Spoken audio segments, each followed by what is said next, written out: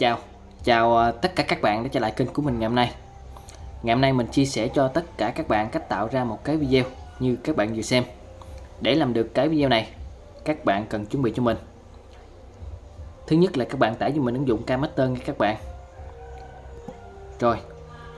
Thứ hai là các bạn chuẩn bị cho mình cái hiệu ứng video 25.k Cái tiệp này sẽ nằm ở dưới phần mô tả của video nha các bạn. Rồi một cái thứ ba nữa là những bức ảnh để tạo ra video cho các bạn. Sau khi các bạn đã chuẩn bị ba vật liệu rồi, bây giờ mình sẽ mở camaster lên ha. Đây các bạn chọn ok nè. Ở đây các bạn chọn là dự án mới. Các bạn chọn 169 tiếp tục các bạn chọn là nhập dự án. Ở đây thì các bạn chọn ok. Ở đây thì các bạn chọn dùm mình cái hiệu ứng video 25.k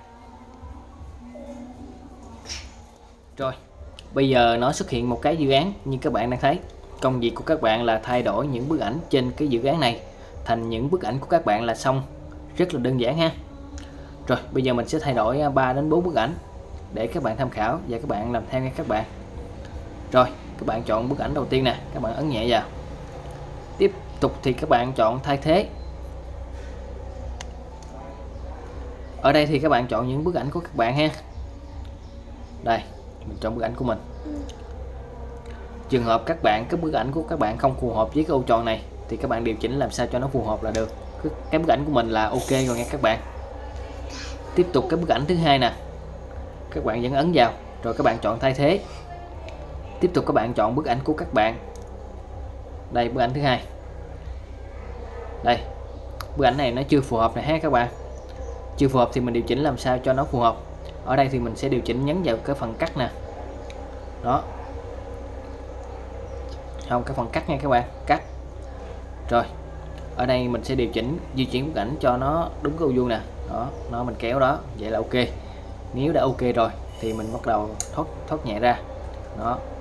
Rồi, vậy là xong các bạn. Đây. Rồi, tiếp tục bức ảnh thứ ba, các bạn cũng ấn nhẹ vào. Nhấn vào chữ thay thế. Rồi, tìm bức ảnh của mình đây. Đó, nếu phù hợp rồi thì thôi.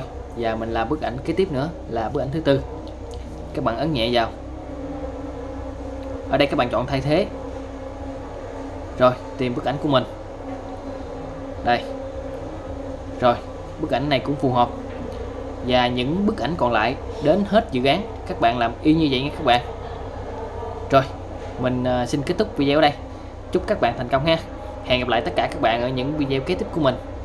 Xin chào.